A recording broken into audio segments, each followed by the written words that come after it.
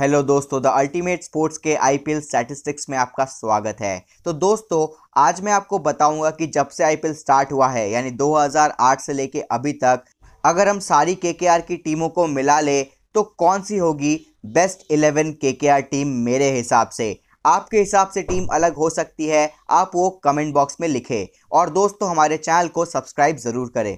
दोस्तों, सबसे पहले मैंने रखा है ओपनिंग के लिए गौतम गंभीर और क्रिस लिन को।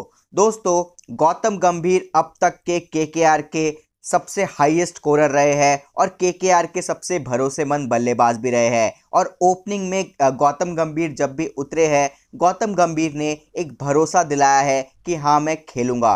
और दोस्तों क्रिसलिन आप सोच रहे होंगे, मैं मैकलम को भी रख सकता था, गेल को भी रख सकता था, पर दोस्तों क्रिसलिन का एवरेज इन सबसे सबसे ज़्यादा है और क्रिसलिन ने मैकलम और गेल से ज़्यादा रन बनाए हैं के के लिए। और दोस्तों क्रिसलिन एक ताबड़तोड़ बल्लेबाज है। इस समय क्रिसलिन का फॉर्म भी बहुत अच्छा है। सारी लीग्स में क्रिसलिन बहुत अच्छा खेलते हुए आ रहे हैं और के के लिए भी क्रिसलिन ने बहुत अच्छा किया है। और गौतम गंभीर और क्रिसलिन का कॉम्बिनेशन भी बहुत अच्छा है। राइट लेफ़्ट का कॉम्बिनेशन है और दोनों में कोऑर्डिनेशन भी बहुत बढ़िया है। दोस्तों फ़र्स्ट डाउन में रखना चाहूँगा जैक कैलिस को दोस्तों, किसी भी टीम में फ़र्स्ट डाउन का जो बल्लेबाज होता है, वो हमेशा भरोसेमंद बल्लेबाज होना चाहिए, वो टेक्निकली स्ट्रांग बल्लेबाज होना चाहिए।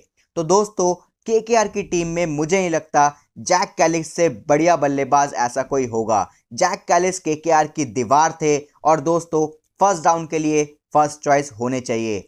मनीष पांडे भी हो सकते हैं, पर दोस्तों जैक कैलिस का एक्सपीरियंस बहुत ही बढ़िया है, बहुत ही शानदार है और जैक कैलिस का परफॉर्मेंस भी ये कहता है। जैक कैलिस के बाद उतारना चाहूँगा मैं रॉबिन उत्तपा को। रॉबिन उत्तपा के के आर के सबसे एक्सपीरियंस खिलाड़ी है। के के आर के लिए सबसे ज़्यादा मैचेस खेले हैं। और दोस्तों के के आर के लिए कंसिस्टेंट परफॉर्मर रहे हैं रॉबिन उत्तपा। हालाँकि पिछले दो साल से रॉबिन उत्तपा का परफॉर्मेंस उतना अच्छा नहीं रहा है, पर इससे पहले तक रॉबिन उत्तपा हर एक सीज़न में शानदार बैटिंग किया है और रॉबिन उत्तपा एग्रेसिव भी है। तो जैक कैलिस के साथ जोड़ी बहुत अच्छी जमेगी। जैक कैलिस जहाँ टेक्निकल बैट्समैन है, जहाँ सिंगल डबल्स पे डिपेंड रहते हैं, वही रॉबिन उत्तपा मार धाड़ वाले बल्लेबाज है, छक्के चौक छक्के चौके पे डिपेंड रहते हैं। उसके बाद दोस्तों आएँगे दिनेश कार्तिक। हालाँकि दिनेश कार्तिक 2018 से ही केकेआर की टीम से जुड़े हैं पर दोस्तों, उन्होंने बहुत अच्छा परफॉर्मेंस किया है।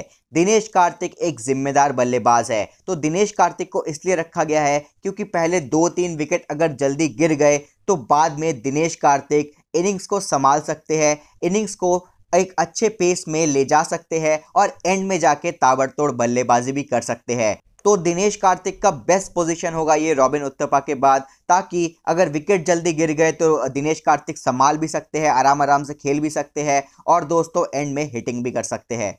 फोर्थ डाउन में उतारना चाहूँगा हमारे ताबड़तोड़ बल्लेबाज बाहुबली, आंद्रे रसल को।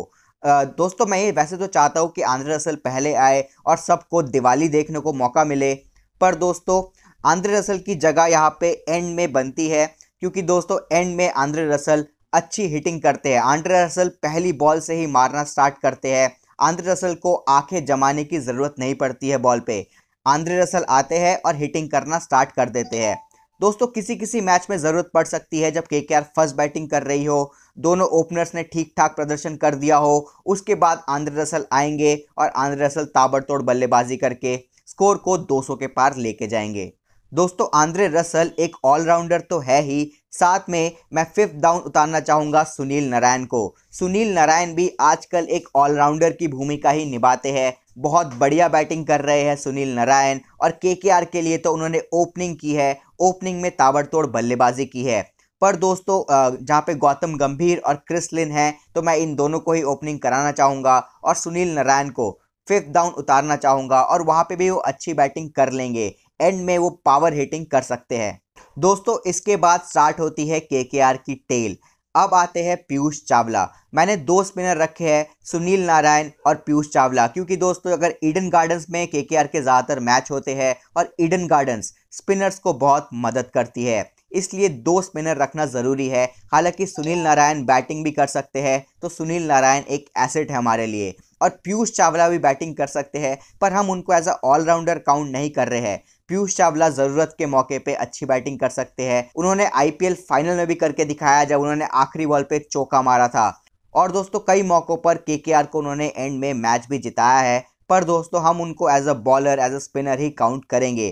के के लिए अभी तक सुनील नारायण और पीयूष चावला की जोड़ी ने बहुत ही शानदार परफॉर्म किया है। और दोस्तों, ये बेस्ट स्पिनिंग जोड़ी है के के लिए।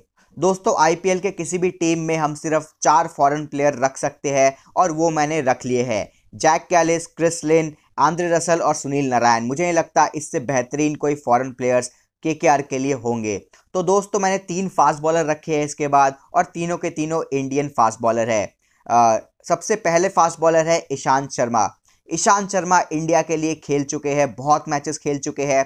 के के आर के लिए जब वो खेलते थे तो के के आर के लिए बहुत अच्छा परफॉर्मेंस किया है उन्होंने। और दोस्तों, इंडिया के लिए भी बहुत बढ़िया परफॉर्मेंस किया है। और ईशांत शर्मा अभी बहुत ही एक्सपीरियंस गेंदबाज है।